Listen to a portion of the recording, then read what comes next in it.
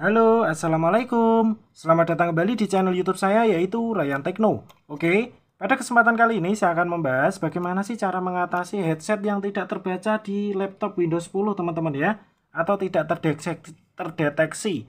Nah, ini bisa juga tutorialnya untuk Windows 8 ataupun Windows 11 ataupun Windows 7 ya, karena hampir sama teman-teman caranya.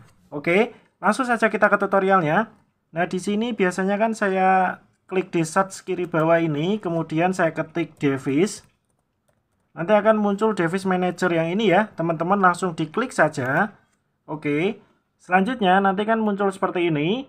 Teman-teman bisa dicek, biasanya harusnya muncul di sini ya, di audio input tuh muncul nih kalau kita colokan headset atau headphone ya, muncul di sini. Nah, kadang tuh nggak muncul karena ini teman-teman ya, saya juga nggak tahu.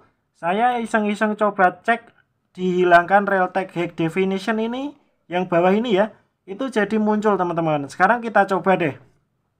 Nah kita coba misalnya teman-teman kan pilih sound and video game controllers yang bawah ini kemudian yang Realtek ini teman-teman klik kanan kemudian pilih update driver kemudian pilih browse my computer for driver kemudian pilih let me pick kemudian di sini teman-teman pilih yang hack ya yang hack definition audio device yang ini Oke, apabila nggak muncul, show-nya dicentang teman-teman. Ya, setelah dipilih hike, teman-teman pilih next saja. Di sini ada pilihan yes, teman-teman yes saja. Oke, kemudian setelah terinstall, teman-teman langsung pilih ini ya. Sebentar, teman-teman pilih close. Nah, di sini teman-teman bebas mau di restart sekarang atau nanti. Apabila ingin di restart sekarang, pilih yes. Apabila nanti no. Nah, misalnya saya pilih restart sekarang. Oke teman-teman, ini setelah saya restart, sekarang kita coba cek ke device manajernya lagi ya. Saya klik search kiri bawah lagi, kemudian ketik device lagi.